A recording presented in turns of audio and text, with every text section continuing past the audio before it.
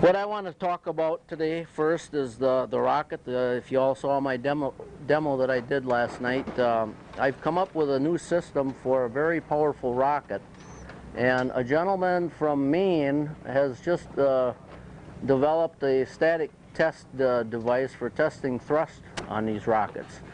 And uh, we he came a little early to the convention and we spent one uh, morning, uh, one afternoon uh, working with some of these rockets and uh, he, he gave me a, a, a computer printout of the, the thrust curve that the three-quarter inch ID rocket produced with uh, three increments of the whistle mix that I use, that I put in these rockets and you can put up to seven increments. Now, his test cell was only rated for uh, 50 pounds.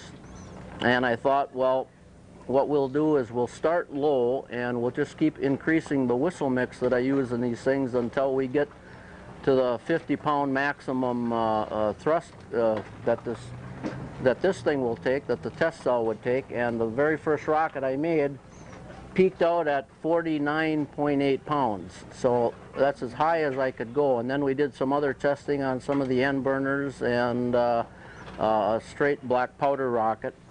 But this just goes to show you what the three the, uh, the three-quarter inch ID rocket that I build.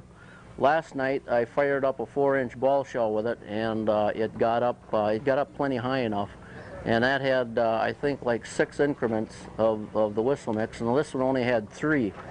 So what the thrust level these rockets put out, I have no idea, um, except this is the only reference I have. This is the three-quarter inch ID um, with three increments of whistle mix.